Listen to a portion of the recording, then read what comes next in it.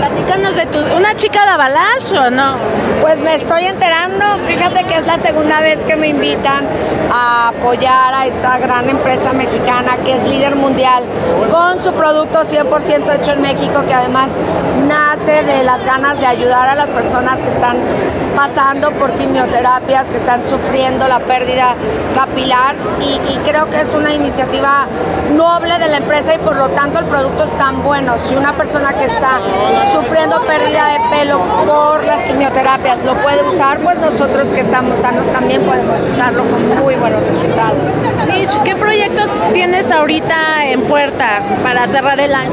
Eh, ayer justamente estábamos en Matamoros en una premier privada de mi película, mi, la- mi primer largometraje, La Loca del Reforma, contenta, emocionada porque vi a mi hija por primera vez en la pantalla grande y también me vi a mí por primera vez en la pantalla grande en el Teatro de la Reforma que está en Matamoros.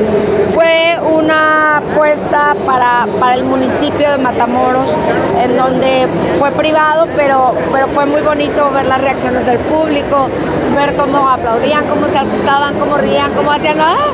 O sea, todas las reacciones fueron muy padres. No me había tocar vivir, no me había tocado vivir algo así, entonces estoy muy agradecida, llena de sueños, de ilusiones y esperando que pronto esté disponible para todos ustedes. Michelle, pues ahora sí que después de 20 años te ofrece disculpas Héctor Soberón, tú no las aceptas.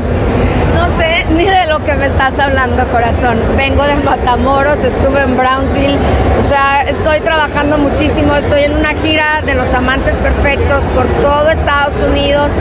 Este 10, 11, 12 vamos a California, vamos a Bakersfield, Fresno, Anaheim. Mañana me voy a Poza Rica, Veracruz a dar función. El 26 estamos en Puebla también para dar función. No tengo idea de lo que me hables. Yo estoy hoy aquí para apoyar una marca que es Davalash, una marca mexicana que me invitaron como nueva embajadora y estoy feliz y contenta. ¿Te puedo poner en contexto de lo... Es que dices que no. Él comentó cosa, en un evento que te ofrecía No me disculpas. interesa porque el pasado, el pasado pisado. Y al menos que tú hayas estado ahí, entonces me puedes compartir, pero ya privado. Porque finalmente hacer esto, hacer un show en un evento que es este, de una marca en donde estamos trayendo un producto para ayudar a las mujeres que tienen, o a los hombres, porque es para ambos, y que saques, se me hace de un poquito mal gusto, corazón. Acuérdate que hay un delito y que hay una línea muy delgada que eso entre vamos. difundir un delito y ser parte del delito también como medio de comunicación. Pero tú has... Ser a ver, responsable, ser responsable. Permíteme un segundo. Acuérdate. Tranquila. No, A ver, que es que dando- Acuérdate. Te estamos preguntando de algo que declaró este hombre en un evento. zapatos y entonces tú puedes Pero ser tú hablaste de una ley. revictimizar. No. Claro que sí, ten mucho cuidado con tus preguntas y la forma en que las formulas, porque la ley, gracias Bueno, a yo Dios, no te pregunté. ya me protege. Es que tú hablaste precisamente víctimas, gracias a Dios, por personas que luego se pasan de la raya y se por llevar una nota ya no son profesionales. Haz tu labor periodística mejor. Pero ¿por qué me dices a mí? enojes al final. No me enojo, yo No, no, no. A ver, una cosa es un delito y otra cosa es que ustedes como prensa sean irresponsables y re- revictimicen a alguien. No estamos revictimizando, estamos preguntándote qué opinas Una nota que es un delito a, a contexto público. Son cosas diferentes. Gracias a Dios tengo un buen equipo de abogados que me han asesorado muy bien y gracias a Dios yo estoy haciendo una iniciativa de ley. Podemos hablar de la iniciativa de ley. Eso, eso vamos. Que quieran, que ya lo hemos hablado más de 35 veces. ¿Cómo Cada va? vez que me ven, me lo preguntan y cada vez que le- me ven les digo lo mismo. Pueden consultarlo con mis abogados con todo el ¿Qué gusto. avance va de esa Te iniciativa? pueden hablar, te dejo el despacho de abogados porque yo no soy abogada y no conozco los términos legales.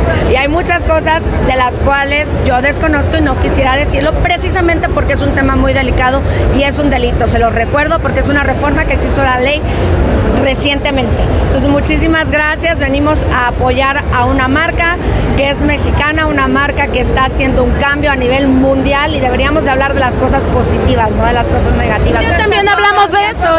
Yo también he hecho reportajes, yo también he estado del otro lado del micrófono y respeto muchísimo su parte porque a mí también me ha tocado hacerlo, pero hay una línea muy, de- muy delgada que no se debe de cruzar. nada más para Les que quede claro, escúchame. Les agradezco enormemente que estén hoy aquí apoyando lo de Davalash y con todo el gusto podemos hablar de belleza, de productos que apoyen a las personas que han sufrido quimioterapias y están perdiendo el cabello porque Dávalas a nivel mundial ayuda a que el cabello vuelva a surgir y creo que eso es algo maravilloso. Creo que hay que hablar de las cosas positivas y no de las cosas negativas. Tampoco te podemos preguntar de Arturo Carmona. Ya me preguntaron hace rato, está conmigo en Los Amantes Perfectos. El día que quieran, si quieren ir a Poza Rica, los invito el día de mañana. Vamos a tener dos funciones a las 7 y 9.30 y también vamos a estar en eh, Puebla, que les queda más cerquita, por si también quieren ir a ver qué pasa con Los Amantes Perfectos y con el elenco multiestelar, en donde está Cristian de la Fuente, Pablo Montero, Arturo Carmona, Alexis Ayala. ¿Hay romance? Este, a veces también está mi querido Alejandro Suárez, del cual la verdad aprendo muchísimo, es un gran maestro. La fortuna y la bendición de trabajar con Héctor Suárez y ahora en esta obra de Omar Suárez con Alejandro Suárez, que son maestros del escenario.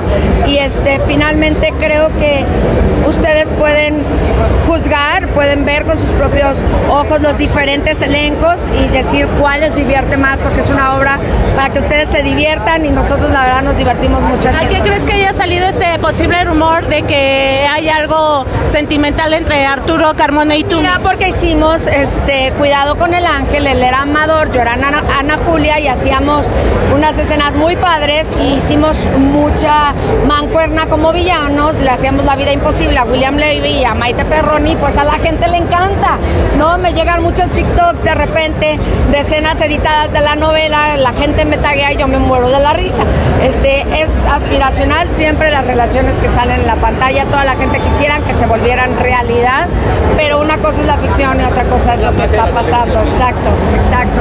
Y no hay amor y cariño de los fans, la verdad. Oye Mitch, ¿y sabes cómo le hizo Cristian de la Fuente para poder alternar esto con la máscara? Porque ayer nos revelaron que era él. Fíjate que justo venía, ahorita que aterricé, venía viendo este, las redes sociales y cuando lo vi me sorprendió muchísimo porque a nosotros tampoco nos dijo nada.